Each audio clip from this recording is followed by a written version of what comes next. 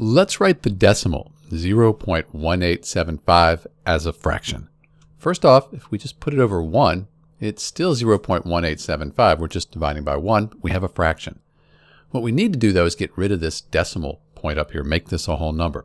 So if we multiply by 10, that would give us 1.875 times 100 times 1,000.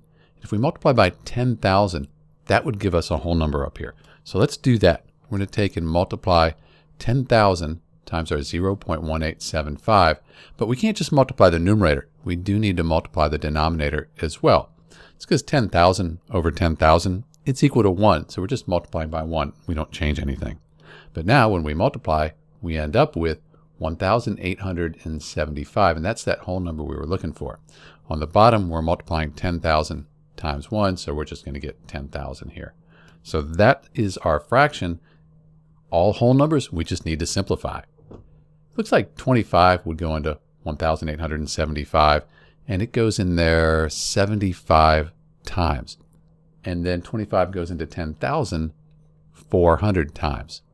So a little bit better, but we can still simplify this more because 25 goes into 75 three times, and 25 goes into 400 16 times and 3 sixteenths, we can't reduce that any further.